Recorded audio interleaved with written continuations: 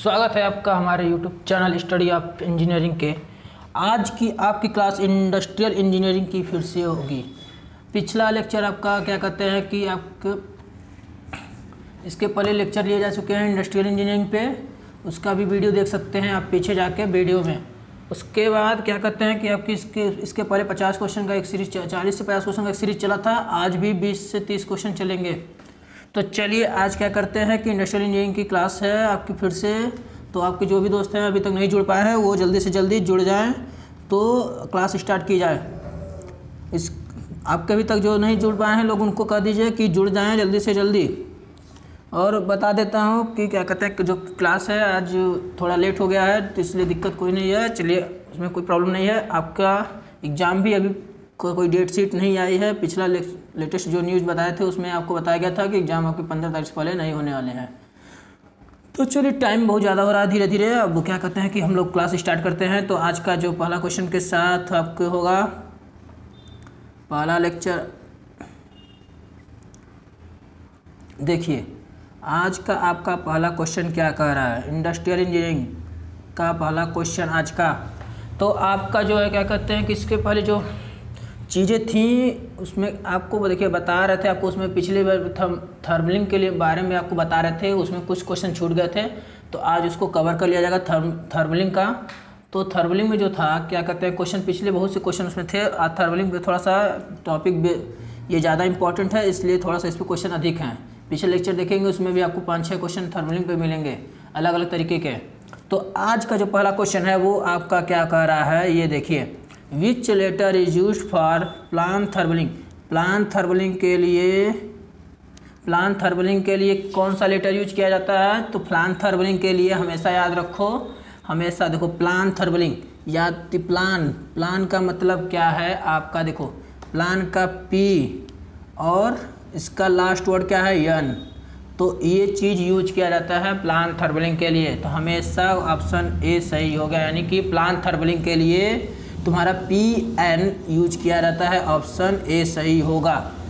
चलो, जो देखो कमेंट में आपको बताते रहो कि लेक्चर आपको कैसा लग रहा, लग, कैसा लेक्चर आपको कैसा पसंद आता है कि नहीं आता है, क्या चीज़ है, कोई दिक्कत होगी तो कमेंट बॉक्स में कमेंट करके पूछ सकते हैं, चाहे आप ग्रुप में भी मैसेज कर सकते हैं। सभी कुछ डिस्क्रिप्शन बॉक्स में दे दिए गए हैं। हर तरह के चैनल का, हर तरह के ग्रुप का लिंक और उससे ज्वाइन हो जाइए। जो सब्सक्राइब नहीं किए, उनको सब्सक्राइब भी कर लीजिए। तो चलिए, अगला क्वेश्चन तो पहला क्वेश्चन आपका क्या था? प्लान थर्मिंग किसके लिए यूज़ किया जाता है प्लान थर्मिंग में कौन सा लेटर यूज़ किया जाता है? यानी कौन से अक्षर का यूज़ किया जाता है? तो पी एन का। ऑप्शन ए सही हो गया है, ठीक? अब चलते हैं अगले क्वेश्चन की तरफ़। देखिए, आपकी प्रैक्टिस की बस यहाँ पर प्रैक्टिस करा जाए बहुत ज़्यादा डिटेल जाएँगे तो लेक्चर बहुत ही लंबा होता जाएगा, इसलिए बहुत अधिक डिटेल ना जाके नॉर्मली क्वेश्चन पे आपको फोकस करना है। क्वेश्चन आपको एमसीक्यू बेस होंगे, इसलिए आपको बस क्वेश्चन याद रखने हैं। आंसर आपको उसके धीरे धीरे याद होते आएँगे। प्रैक्टिस जितना अधिक क्वेश्चन होगा एमसीक्यू के, उतनी अच्छी तैयारी होगी। चलिए, अब अगले क्वेश्चन की तरफ़ बढ़ते हैं। दूसरा क्वेश्चन क्या बोल रहा है? देखिए, फिर आया थर्बलिंग का क्वेश्चन थर्बलिंग का क्वेश्चन अब कौन सा पूछ रहा है? Which letter is use which letter is use for hold therblig hold therblig के लिए कौन सा यूज़ किया जाएगा? तो होल्ड थर्बलिंग के लिए याद रखिए। होल्ड थर्बलिंग के लिए आपको, देखो होल्ड का एच पीछे प्लान के लिए, तुम प्लान के लिए पी एन लिए थे लास्ट वाला वर्ड और पहला वर्ड तो हमेशा याद रखो, जो भी थर्बलिंग की बात की जाएगी, उसमें या तो पहला वर्ड होगा, या तो लास्ट और पहला दोनों को मिला के रहता है। तो ऑप्शन के अकॉर्डिंग आप उसको काम कर सकते हैं। देखो, अधिकतर ऑप्शन आपको क्या कह देंगे ऐसा दिया जाएगा जिसके आप तुरंत पता चल सके। तो पिछले वाले ऑप्शन में जो आपका पिछला क्वेश्चन देखिए, ध्यान दीजिए, पिछले क्वेश्चन में क्या था? पिछले question P L A N और ऑप्शन में देखो पी से स्टार्ट होने वाला एक ही वर्ड था। एक ही आपका ऑप्शन पी से स्टार्ट हुआ था। और लास्ट वर्ड था तो पी एल और दूसरा मिला के आपको ये देखिए एक क्या कहते हैं, तुक्का मार भी सकते हैं। अगर नहीं क्वेश्चन का आंसर पता है तो आप तुक्का थोड़ा सा इससे लगा सकते हैं कि जो वर्ड है उसके पहला और दूसरा वर्ड मिला के, या पहला वर्ड से या तो दूसरे वर्ड से कुछ स्टार्ट होने वाला है आंसर तो चलिए, इसी हिसाब से इसका जो दूसरा क्वेश्चन है, दूसरे क्वेश्चन में भी आपको क्या कहते हैं कि होल्ड की बात की गई तो होल्ड का एच देखो इसमें होल्ड का एच आ रहा है, ये ऑप्शन डी वाला सही आ रहा है, ठीक? ऑप्शन डी आपका सही है। लेकिन देखो इसमें अगर यहाँ पर मान लो डी लिख देता अगर पिछले वाले ट्रिक के अकॉर्डिंग अगर डी यहाँ पर लास्ट वर्ड है लास्ट लेटर है तो उसको अगर लिखते एच डी होता है लेकिन ऑप्शन में आपके एच डी क्या है? ऑप्शन में आपके एच डी नहीं लिखा है। तो इसलिए आंसर एच वाला सही होगा। ये थोड़ा सा तुक्का लगाने का भी सही एक ट्रिक दिखाई दे रहा है कि उसका जो वर्ड पूछा जाए, उस वर्ड का पहला लेटर या लास्ट लेटर दोनों मिला के आंसर हो सकता है। अगर ऑप्शन में एक जैसे दो ऑप्शन नहीं दिखाई दे रहे हैं। चलिए, अब बढ़ते हैं अगला क्वेश्चन तो होल्ड थर्मिल के लिए किसका यूज़ किया जाता है? एच का. ऑप्शन कौन सा सही हो गया? तुम्हारा डी ठीक? आप भी कमेंट में बताते जाइए आंसर कुछ बताइएगा. चलिए, अब आते हैं अगला क्वेश्चन अगला क्वेश्चन आपके स्क्रीन पे दिखाई दे रहा होगा. चलिए, अगला क्वेश्चन क्या कह रहा है? वाट इज़ द यूज़ आप सी एस आई एम ओ सीमो या सी एम ओ कुछ भी कर सकते हैं। सीमो सीमो पहले आपको बता दूँ एस आई एम ओ सीमो हो गया। अब सीमो का अगर देखो तो हम एक क्वेश्चन दूसरा बनाए हैं what is the use use का मतलब प्रयोग। तो पूछ रहा था what is the use of C M S C का सॉरी एस सीमो यानी S I M O chart का यूज़ कहाँ मतलब यूज़ क्या होता है? यानी कि एस आई एम ओ यानी सीमो चार्ट का यूज़ कहाँ करते हैं? या कहाँ सॉरी क्या करते हैं? उसका यूज़ क्या है? सीमो चार्ट का यूज़ क्या है? तो देखो, जो कि एक पहले इसको बता आंसर इसका बताने से पहले हम आपको ये बताते हैं कि देखो सीमो का कभी कभी फुल फॉर्म में पूछ देता है। तो सीमो का फुल फॉर्म क्या होता है? Simultaneous motion cycle chart simultaneous motion cycle chart देखिए इंग्लिश वर्ड याद रखिए। हिंदी में आप जाएँगे, दिक्कत आपको बहुत अधिक होगी। तो क्या हुआ? सिमुलेटेनियस मोशन साइकिल चार्ट देखिए ये चीज़ याद रखिए, ये चीज़। ये वाला, ये चीज़ देखिए, ठीक ये चीज़। ये पूरा फुल फॉर्म हुआ अगर कोई आपसे पूछता है कि S I M O N SIMO का फुल फॉर्म क्या होगा तो आप बोल दीजिएगा simultaneous motion chart cycle chart ठीक? अब आते हैं इसका क्वेश्चन जो पूछ रहा है। क्वेश्चन क्या पूछ रहा है वो देखिए। क्वेश्चन क्या कह रहा है? What is the use of SIMO chart यानी सीमो चार्ट का प्रयोग क्या है? तो देखो, पहला ऑप्शन जो दिया गया है to develop the method to develop the method of repetitive method of working ठीक? Method to develop the method of repetitive method of working ठीक? दूसरा ऑप्शन क्या है? To find the standard time of repetitive movement मतलब दूसरा option क्या है? Repetitive movement को मानक स्टैंडर्ड मतलब होता है मानक टाइम यानी मानक समय। एक रिपीटिव मूवमेंट का एक मानक समय समय को फाइंड करने के लिए, यानी स्टैंडर्ड टाइम रिपीटिव मूवमेंट के रिपीटिटिव मूवमेंट के स्टैंडर्ड टाइम को फाइंड करने के लिए सीमो चार्ट प्रयोग किया जाता है। या आपको जो तीसरा ऑप्शन दिया जा रहा है, वो क्या लिखा रहा है? To increase productivity with the help of micro motion study जो प्रोडक्टिविटी है, उसको इंक्रीज करने के लिए किसकी सहायता से? हेल्प ऑफ़ माइक्रोमोशन स्टडी यानी कि माइक्रोमोशन स्टडी के द्वारा उसकी सहायता से प्रोडक्टिविटी को इंक्रीज किया जा सकता है सीमो चार्ट के द्वारा। ये पूछा हो सकता है option all of the mentioned यानी कि जो ऊपर सभी दिए गए हैं, वो ऑप्शन सभी सही हैं, ये आपको यानी कि सीमो चार्ट का प्रयोग सीमो चार्ट का यूज़ क्या है? तो देखो सीमो चार्ट का यूज़ तुम्हारा क्या होता है? देखो, अब सीधे सीधे इसके आंसर पे आओ। तो सीमो चार्ट का यूज़ देखो, कब कब होता है? To develop the method of repetitive movement repetitive method of working ये भी सही है। To find the standard time of repetitive movement ये भी सही है। दोनों ऑप्शन सही है। तीसरा to increase productivity with the help of micro motion study ये भी सही है। यानी कि ऑप्शन डी सही होगा। ऑप्शन डी सही हो जाएगा। थोड़ी सी इंग्लिश है, कोई दिक्कत नहीं है उसमें।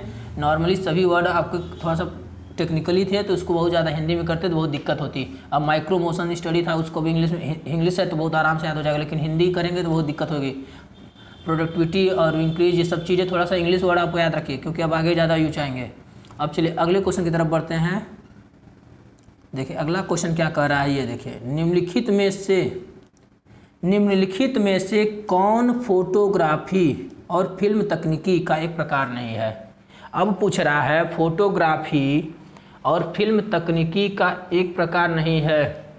यानी कि इसमें से चारों जो ऑप्शन दिए गए हैं, इसमें से कौन सा ऐसा है जो तुम्हारा फोटोग्राफी और फ़िल्म टेक्निक का एक प्रकार नहीं है टाइप्स नहीं है? तो देखो, फोटोग्राफी के लिए, देखो, तुम्हारा क्या है? मेमो मोशन फोटोग्राफी ये ऑप्शन सही है। ये फोटोग्राफी और फ़िल्म तकनीक का एक प्रकार होता है। क्रोनोसाइकिल ग्राफ ये भी सही है, ये भी होता है। फोटोग्राफी और फ़िल्म तकनीक का एक ये भी सही होता है। अब साइकिल ग्राफ, ये तीनों ऑप्शन सही हैं। ये तीनों ऑप्शन जो तुम्हारा है, ये तुम्हारी फोटोग्राफी और फ़िल्म तकनीक का एक प्रकार होता है। लेकिन यहाँ पर नहीं की बात की गई है, इसलिए simo chart simo chart film तकनीकी और फोटोग्राफी के लिए यूज़ नहीं होता है। यानी कि आंसर ए सही होगा।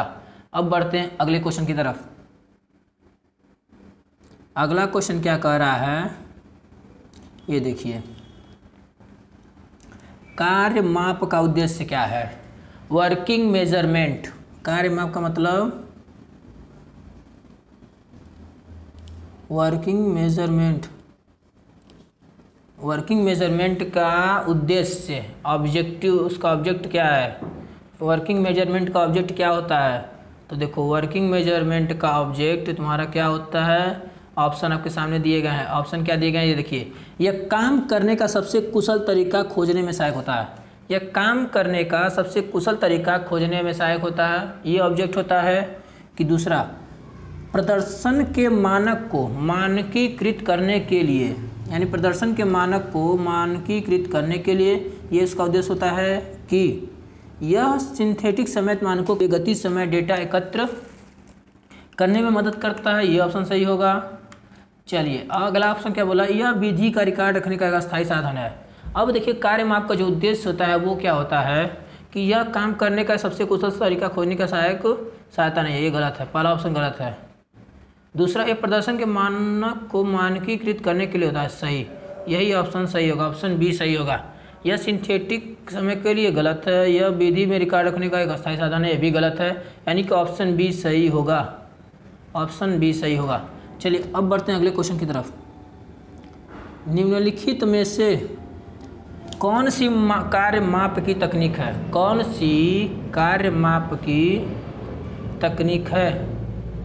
तो कार्य माप की जो तकनीक होती है जो कार्य माप की तकनीक होती है वो तुम्हारा क्या होता है? टाइम स्टडी कार्य माप। किसी भी कार्य को मेजर कर, करने का एक तरीका क्या होता है? Time study synthesis from element time synthesis from element time यानी कि एलिमेंट टाइम यानी कि जो तुम्हारे तत्व होते हैं टाइम के जो तत्व होते हैं, उनके विश्लेषण। सिंथेसिस मतलब संश्लेषण होता है, लेकिन एक तरह से कहो विश्लेषण की बात। सिंथेसिस तो संश्लेषण होता है, लेकिन विश्लेषण से किया जाएगा।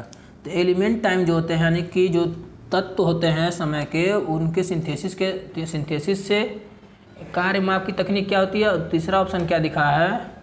देखो, तीसरा ऑप्शन कार्य माप की तकनीक बताना है। तो तीसरा ऑप्शन जो आपको दिया गया है pre determined motion time system पहले ही मोशन टाइम सिस्टम को डिटरमाइन कर लेना, ये, या ऑल ऑफ़ द मेंशन तो टाइम स्टडी का जो होता है, कार्य माप की तकनीक होती है, ये चारों ऑप्शन सही है, ये तीनों सही है तो ऑफ़ द मेंशन यानी कि ऑप्शन डी सही होगा। ठीक ऑप्शन डी सही होगा, यानी टाइम स्टडी भी होता है, कार्य माप की तकनीक सिंथेसिस फ्रॉम एलिमेंट टाइम ये भी सही है। Pre determined motion time system ये भी सही है, यानी कि ऑप्शन डी सही होगा। चलिए अब बढ़ते हैं अगले क्वेश्चन की तरफ़। अगला क्वेश्चन क्या कह रहा है, ये देखिए। कार्य मापन की मूल प्रक्रिया है, क्या है? कार्य मापन की मूल प्रक्रिया, यानी कि किसी भी काम को करने का एक प्रक्रिया होता है। जैसे कि अगर आपको क्या कहते हैं कोई भी काम करना है, स्टडी ही करना है तो उसका एक शेड्यूल बनाते हैं। शेड्यूल करने के बाद उसको एक टाइम पीरियड टाइम टाइम के हिसाब से काम करते हैं तो इसलिए कार्य किसी भी कार्य को मेजर करने के लिए उसकी एक मूल प्रक्रिया होती है तो कैसे कैसे करते हैं देखो पहला ऑप्शन देखिए सेलेक्ट करके रिकॉर्ड करते हैं फिर एग्जामिन करते हैं फिर मेजर करते हैं फिर कंपाइल करते हैं फिर डिफाइन करते हैं तो कार्य मापन की मूल प्रक्रिया तो ऑप्शन आपके सामने दिए गए हैं तो देखो अब अगला ऑप्शन क्या दिए सेलेक्ट करते हैं पहले सेलेक्ट करते हैं फिर रिकॉर्ड करते हैं फिर एग्जामिन करते हैं फिर कंपाइल करते हैं फिर मेजर करते हैं फिर डिफाइन करते हैं ये सही होगा कि तीसरा सेलेक्ट करेंगे, पहले काम को सेलेक्ट करते हैं, फिर डिफाइन कर देंगे, फिर एग्जामिन कर देंगे, फिर मेजर करेंगे, फिर कंपाइल करेंगे, फिर रिकॉर्ड करेंगे। ये, या ऑप्शन डी आपको जो दिए गए हैं, ये देखिए। तो जो होता है, देखो, किसी भी काम को करने की जो मूल प्रक्रिया होती है, वो क्या होती है? आपको मूल प्रक्रिया क्या होती है, देखो, वो चीज़ें बताते हैं आपको। मूल प्रक्रिया किसी भी काम को जो होती है करने की, वो क्या है कि पहले किसी भी काम को सेलेक्ट करते हैं। काम को क्या होता है सेलेक्ट किया जाता है। फिर उसको रिकॉर्ड किया जाता है, फिर एग्जामिन किया जाता है, फिर उसको मेजर किया जाएगा, फिर कंपाइल किया जाएगा, फिर डिफाइन किया जाता है। ठीक? यानी कि ऑप्शन ए सही हो जाएगा। ये चीज़ आप याद रख लीजिए। किसी कार्य करने की मूल जो मूल प्रक्रिया होती है, वो record select record examine measure compile define चलिए, अब बढ़ते हैं अगले क्वेश्चन की तरफ़। अगला क्वेश्चन आपका देखिए क्या है।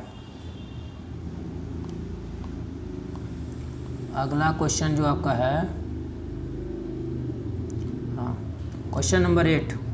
Question number eight क्या कह रहा है, कार्य मापन के लिए कौन से उपकरण का उपयोग किया जाता है? उपकरण का उपयोग नहीं किया जाता है। नहीं। देखो, यहाँ पर नहीं की बात हो रही है। नहीं की। यानी कार्य मापन के लिए किस उपकरण का उपयोग नहीं किया जाता है तो तुमको पता है जो कार्य मापन है वो स्टॉप वॉच के द्वारा किया जाता है। स्टॉप वॉच के द्वारा किसी भी कार्य का मेज़रमेंट किया जाता है। मेस्ट्रोक्रोन के द्वारा भी किया जाता है। मेस्ट्रो मास्ट्रोक्रोन के द्वारा भी कार्य को मा, मापा जाता है। यहाँ पर लेकिन नहीं की बात है टाइम स्टडी टेबल ये नहीं होता है। टाइम स्टडी टेबल जो है मेज़रमेंट नहीं ये कोई उपकरण का नहीं है जिसके द्वारा कार्य को मापा सकते हैं। विंग काउंटर इसके द्वारा किया जाता है। यानी कि ऑप्शन सी सही होगा, क्योंकि यहाँ पर नहीं की बात की गई थी, नहीं किया जाता है तो इसलिए किसके द्वारा नहीं किया जाता है? टाइम स्टडी टेबल के द्वारा नहीं किया जाता है। ये कार्य मापन का कोई उपकरण नहीं है। टाइम स्टडी टेबल कार्य करने का उपकरण नहीं होता है। चलो, अब अगला क्वेश्चन की तरफ़ बढ़ते हैं। Question number nine question number nine क्या कह रहा है? निम्नलिखित में से कौन सा स्टॉप वॉच का समय अध्ययन में उपयोग नहीं किया जाता है। निम्नलिखित में से कौन सा स्टॉप वॉच का समय अध्ययन में उपयोग नहीं किया जा सकता है? नहीं, फिर यहाँ पर नहीं की बात की गई है। तो निम्नलिखित में से कौन सा स्टॉप वॉच का समय अध्ययन में उपयोग नहीं किया जा सकता है? तो देखो, आपके सामने ऑप्शन दिए गए हैं, आप ऑप्शन पढ़िए। ऑप्शन क्या लिखा है? पहला फ्लाई बैक स्टॉप वॉच दूसरा non fly back stop watch तीसरा स्प्लिट सेकेंड स्टॉप वॉच चौथा स्प्लिट हैंड स्टॉप वॉच यानी चारों ऑप्शन दिए गए हैं, इसमें से किस किस का यूज़ कौन सा स्टॉप वॉच का समय अध्ययन में नहीं कहता इसमें से कौन सा ऑप्शन सही है? ऐसा, इसमें से ऑप्शन कौन सा सही होगा जो स्टॉप वॉच का समय अध्ययन में उपयोग नहीं किया जा सकता है? नहीं की बात कर रहा है। तो याद रखो, जो होता है तुम्हारा फ्लाई बैक, ये स्टॉप वॉच के अध्ययन में यूज़ होता है। नॉन फ्लाई बैक, ये भी होता है। तो और स्प्लिट सेकेंड स्टॉप वॉच ये नहीं होता है। और स्प्लिट हैंड स्टॉप वॉच ये होता है, यानी कि ऑप्शन सी सही होगा। तो एक बार फिर से आप क्वेश्चन पढ़ लीजिए। तो तुम्हारा क्या बोला है? कौन सा स्टॉप वॉच के समय अध्ययन में उपयोग नहीं किया जाता है? तो तुम्हारा split second stop watch option C सही होगा। ठीक? अब बढ़ते हैं अगले क्वेश्चन की तरफ़।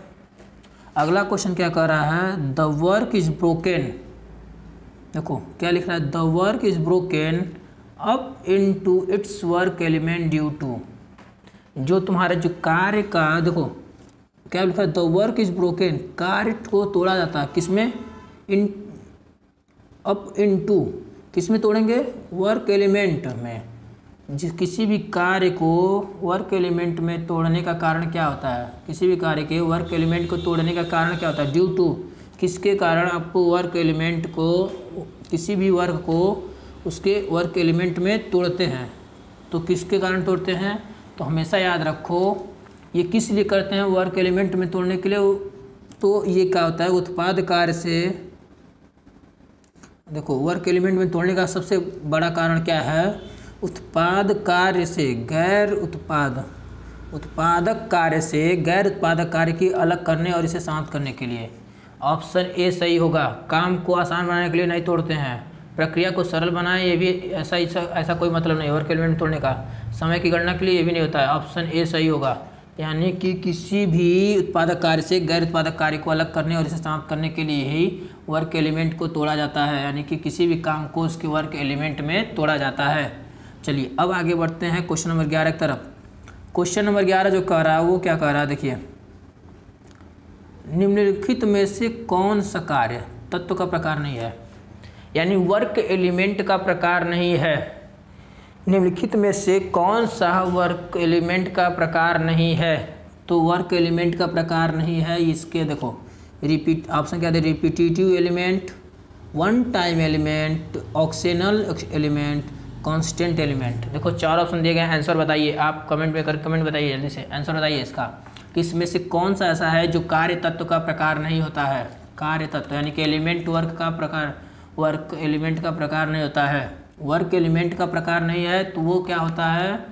जो तुम्हारा वन टाइम एलिमेंट होता है, वो तुम्हारा कार्य तत्व, यानी कि वर्क एलिमेंट का प्रकार नहीं है। ऑप्शन बी सही होगा। ऑप्शन बी सही हो जाएगा। अब बढ़ते हैं अगले क्वेश्चन की तरफ़, बारह नंबर क्वेश्चन क्वेश्चन नंबर बारह क्या कह रहा है, ये देखिए। निम्नलिखित में से किस स्थिति में समय के अध्ययन को आवश्यकता है? ऐसी कौन सी स्थिति है जिसमें समय के अध्ययन की आवश्यकता होती है? पूछ रहा है ये चारों ऑप्शन में से, ऐसी कौन सी स्थिति है जिसमें समय के अध्ययन की आवश्यकता होती है? समय के अध्ययन की आवश्यकता होती है। तो समय के अध्ययन की आवश्यकता कब होती है? देखिए, उत्पाद की बढ़ती अस्वीकृति, ये गलत है। इसमें समय के अध्ययन की आवश्यकता नहीं है। बेहतर कार्य विधि के लिए मानक समय खोजने के लिए भी नहीं है। ठीक? सभी सॉरी देखिए, थोड़ा सा कन्फ्यूज़न हो गया था इसमें। देखिए, क्या बोला है? स्थिति, पूछ रहा था, थोड़ा सा क्वेश्चन गड़बड़ हो गया था। निम्नलिखित में से किस स्थिति में समय का अध्ययन की आवश्यकता नहीं है? आवश्यकता है आवश्यकता है, समय के अध्ययन की आवश्यकता है, ये पूछ रहा है। तो ऐसी कौन सी स्थिति है जिसमें समय के अध्ययन की आवश्यकता होती है? तो देखो, हमेशा उत्पाद की बढ़ती अस्वीकृति इसमें समय का अध्ययन पता करता है कि हमारी जो उत्पाद हो रही है उसकी जो उत्पाद है वो क्यों इंक्रीज नहीं कर रहा, क्यों इंक्रीज नहीं हो रहा है, उस उस स्थिति में हमें, हम समय का अध्ययन नहीं करेंगे तो कैसे पता चलेगा कि मेरा किस टाइम में कितना उत्पाद बढ़ा या घटा, और क्यों ये हो रहा है? तो हमको हमेशा समय को मेजर किया जाता है। दूसरा, बेहतर कार्य विधि के लिए मानक समय खोजने के लिए, यानी किसी भी काम को अच्छे से करने के लिए, उसके एक स्टैंडर्ड टाइम होती है। किसी भी चीज़ को एक काम करने का एक स्टैंडर्ड टाइम होता है, जिसके द्वारा ये पता लगाया जा सकता है कि काम को कितना बेहतर किया जा सकता है, कम से कम। तो उसके लिए भी समय की अध्ययन सकता है? तो यहाँ सभी उल्लेखित, ये भी ऑप्शन है। और उल्लेखित में से कोई नहीं, सभी उल्लेखित का मतलब है कि ऑप्शन ए और बी दोनों सही है। और तुम्हारा उल्लेखित में से कोई नहीं मतलब कि तीनों में से ऊपर का जो तीनों ऑप्शन दिएगा उसमें से कोई सही नहीं है। तो जो तुम्हारा ऑप्शन इसका बनेगा कि समय के अध्ययन की आवश्यकता होती है, वो क्या कहते हैं सभी उल्लेखित यानी कि ऑप्शन सी सही हो जाएगा। यानी कि उत्पाद की बढ़ती स्वीकृति के कंडीशन में भी तुम्हारा समय के अध्ययन की आवश्यकता होती है। बेहतर कार्य विधि के लिए, मानक समय खोजने के लिए भी तुम्हारा समय के अध्ययन की आवश्यकता होती है। चलिए, अब बढ़ते हैं अगले क्वेश्चन की तरफ़। अगला क्वेश्चन क्या कर रहा है? परफॉर्मेंस रेटिंग अब फार्मूला पे आ गया। देखिए, कुछ फार्मूले पे आ गए। परफॉर्मेंस रेटिंग अगर निकालना है, किसी भी परफॉर्मेंस का कोई काम कर रहा है, उसकी कोई परफॉर्मेंस होती है तो कितना बेहतर किया, उसकी एक रेटिंग होती है, उसी को परफॉर्मेंस रेटिंग बोलते हैं। यानी करने वाला उसका जो काम होता है, उसकी एक परफॉर्मेंस होती है कि वो दो मिनट में इतना काम कर गया तो उसकी कोई परफॉर्मेंस क्योंकि वो कितना अच्छा कर दे रहा है। तो उसकी एक रेटिंग निकालते हैं मतलब उसको जैसे कि हर जगह थ्री स्टार फाइव स्टार ये सब चीज़ें देते हैं, वैसे ही रेटिंग इसकी भी होती है। तो उस रेटिंग को क्या कहते हैं, निकालने के लिए फार्मूला बने होते हैं। तो फार्मूला क्या है? वो देखिए उसका परफॉर्मेंस रेटिंग निकालने का फार्मूला जो होता है, वो हमेशा याद रखिए। देखिए ऑब्ज़र्व परफॉर्मेंस एक इसको बताते हैं ऐसे। इसके लिए एक पेज जोड़ते हैं। परफॉर्मेंस रेटिंग निकालने के लिए, तुम्हारा देखो परफॉर्मेंस रेटिंग अगर निकालना है तो इसका जो आंसर होगा, वो क्या होगा? ऑब्ज़र्व परफॉर्मेंस और अरे यार, लिखा नहीं रहा थोड़ा सही से। आप डायरेक्ट बस समझिएगा, हम जो बोल रहे हैं उस चीज़ों को हम शॉर्ट कट में थोड़ा बताएँगे। ठीक? अब देखिए। परफॉर्मेंस रेटिंग निकालने का जो फार्मूला होता है, वो होता है ऑब्ज़र्व ऑब्ज़र्व परफॉर्मेंस ठीक? Observe performance by normal performance normal performance ठीक इनटू हंड्रेड ये होता है फार्मूला किसका? परफॉर्मेंस रेटिंग निकालने का। परफॉर्मेंस निकाल रेटिंग निकालने का क्या फार्मूला होता है? Observe performance upon normal performance into hundred ये तुम्हारा होता है आपको किसी भी परफॉर्मेंस रेटिंग को प्राप्त करने का। तो चलिए, अब तो उसका आंसर देखते हैं क्या होगा। हाँ तो ये क्वेश्चन था आपका। तो परफॉर्मेंस रेटिंग निकालने का जो बना है वो क्या था आपका? बताया हूँ observe performance by normal performance into hundred यानी कि ऑप्शन ए सही है ऑप्शन ए सही हो जाएगा। ठीक, अब अगला क्वेश्चन की तरफ़ बढ़ते हैं। अगला क्वेश्चन क्या कर रहा है?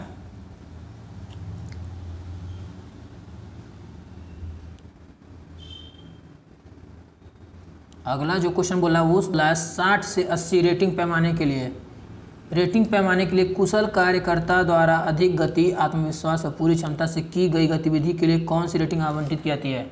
यानी किसी भी 60 से 80 रेटिंग पैमाने के लिए, अगर 60 से 80 रेटिंग पैमाने के लिए कुशल कार्यकर्ता द्वारा, किसी स्किल्ड वर्कर द्वारा अधिक गति, आत्मविश्वास और पूरी क्षमता से की गई गतिविधि के लिए कौन सी रेटिंग आवंटित की जाती है? तो उसके लिए कितनी रेटिंग दी जाती है? तो उसके लिए हमेशा जो रेटिंग दी जाती है, वो दिया जाता है हंड्रेड का।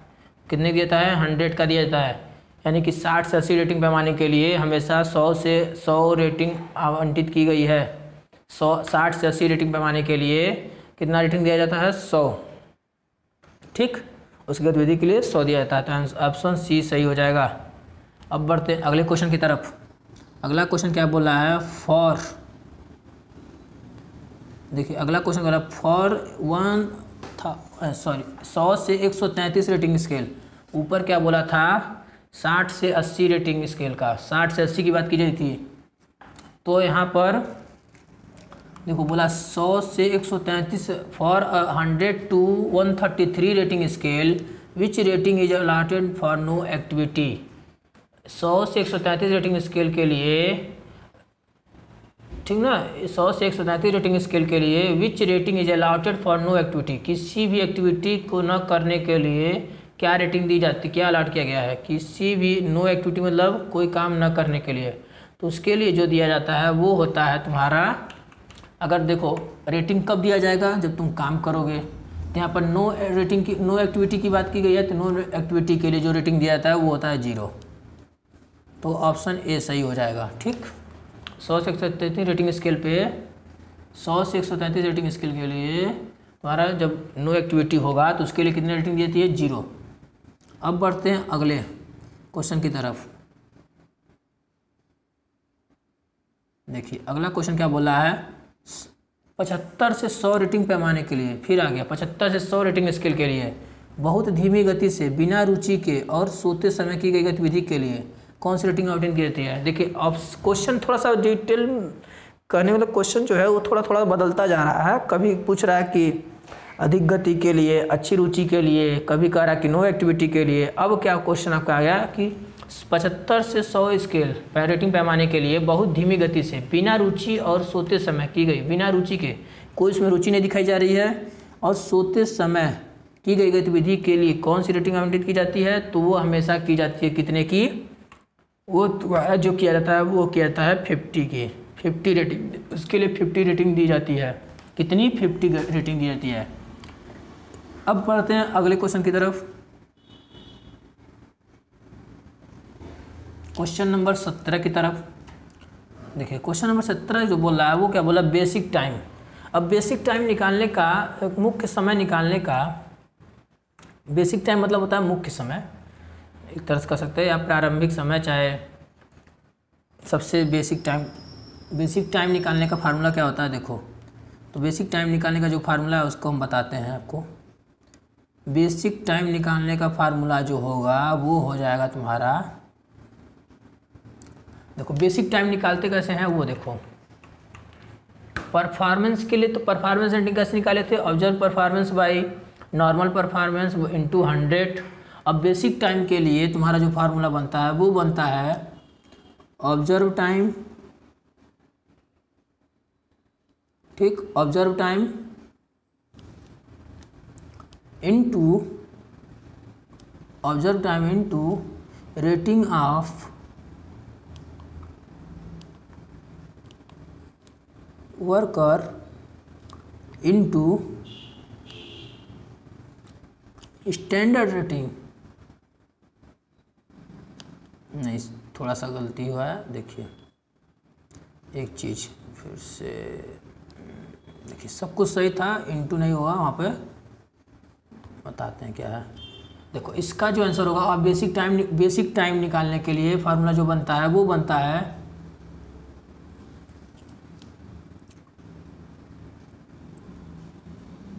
observe time observe time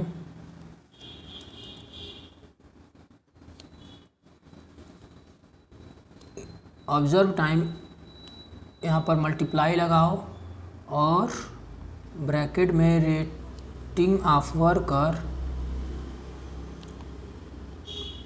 rating of worker divided by standard time standard time. तो क्या बना? तो इस हिसाब से इसमें ऑप्शन कौन सा सही होगा देखो। पहला ऑप्शन क्या देगा? Observe time into rating of worker plus standard time observe time into rating of worker minus standard time observe rating observe time into rating of worker by standard time option C ये वाला option सही सी हो जाएगा। आपको बताया हूँ अभी observe time into rating of worker by standard time ठीक? तो ऑप्शन सी सही हो जाएगा बेसिक टाइम के लिए। अब बढ़ते हैं अगले क्वेश्चन की तरफ़।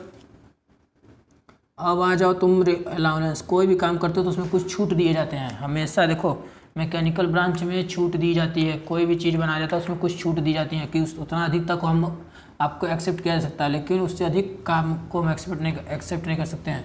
उसी को एक तरह से कह सकते हो रिलैक्सेशन उसी को रिलैक्सेशन बोलते हैं। छूट को ही रिलैक्सेशन बोलते हैं, ठीक? ये छूट दी जाती है, कितना हद तक आप काम कर सकते हैं। अगर आप कोई भी बोल्ट अगर बनाते हैं तो बोल्ट में भी कुछ होती है कितना हद तक आपको, क्या कहते हैं, छूट दिए जा सकते हैं। कितना डाया वगैरह का इंक्रीज या प्लस या माइनस होता है तो आपको वो, आपका बोल्ट ले लिया जाएगा। चाहे तो उसी हिसाब से यहाँ भी इंडस्ट्रियल इंजीनियरिंग में भी, क्या कहते हैं, तुम्हारा एक छूट दिए जाती हैं। क्या चीज़ है, वो देखिए क्वेश्चन क्वेश्चन जो बोला है, वो बोला छूट भत्ता क्या है?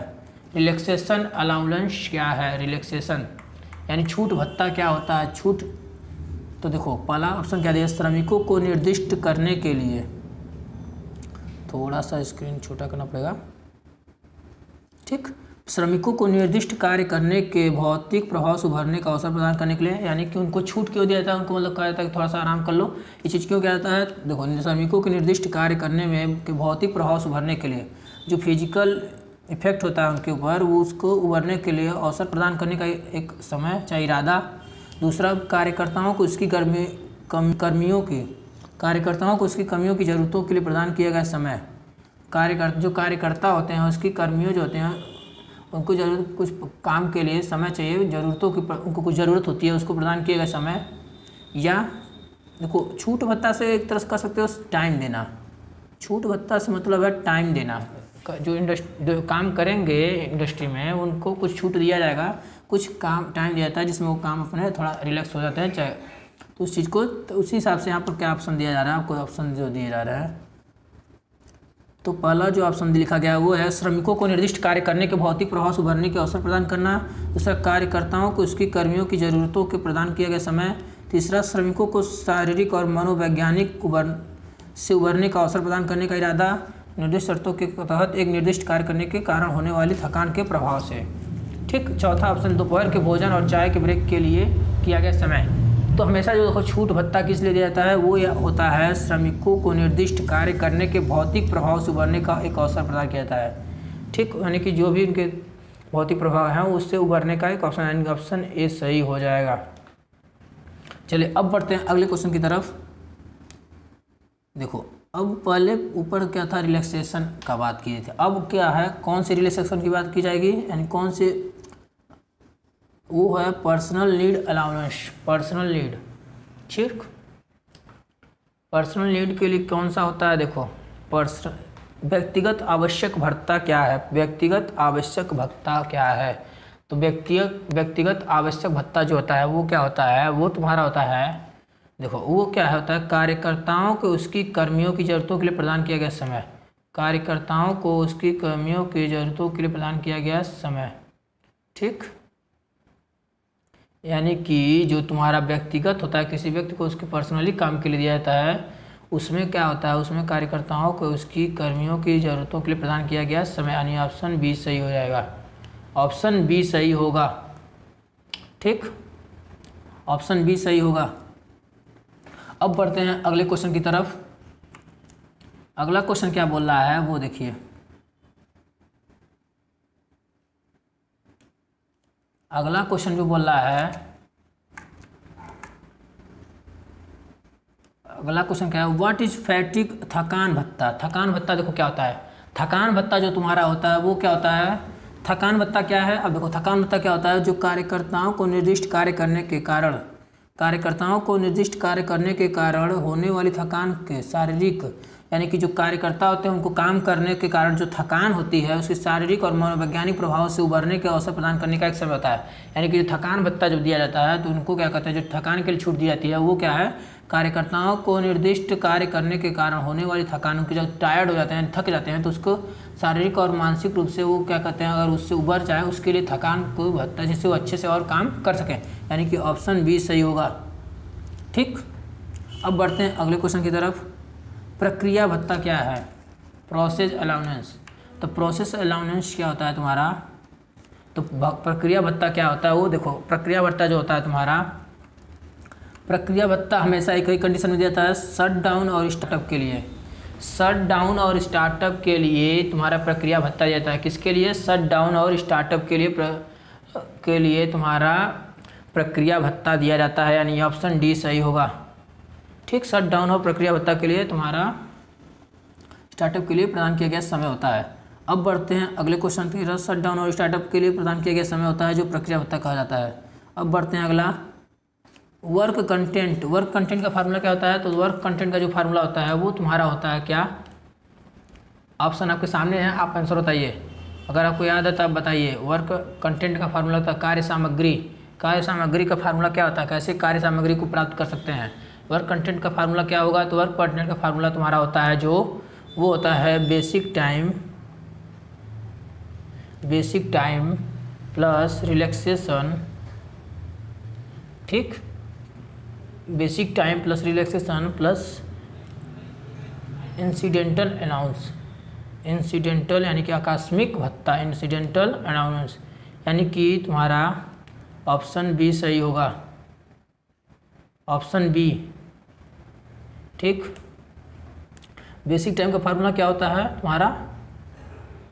तो बेसिक टाइम का जो फार्मूला होता है, वो होता है basic time plus relax work content निकालने का जो फार्मूला होता है, वो होता है basic time plus relaxation allowance और एक्सीडेंटल अलाउंस यानी एक्सीडेंटल आकस्मिक भत्ता आकस्मिक भत्ता और रिलैक्सेशन यानी कि छूट भत्ता, यानी कि छूट भत्ता और बेसिक टाइम का तीनों का ऐड जो होता है, वो उसी को बोलते हैं वर्क कंटेंट ठीक, ये फार्मूला से आप डिफिनेशन बता सकते हैं कि डिफिनेशन क्या हो सकता है? वह कार्य सामग्री का अगर डिफिनेशन पूछा जाए तो बेसिक टाइम और रिलैक्सेशन और इंसिडेंटल यानी कि आकस्मिक भत्ता के तीनों के योग के बराबर तुम्हारा वर्क कंटेंट होता है।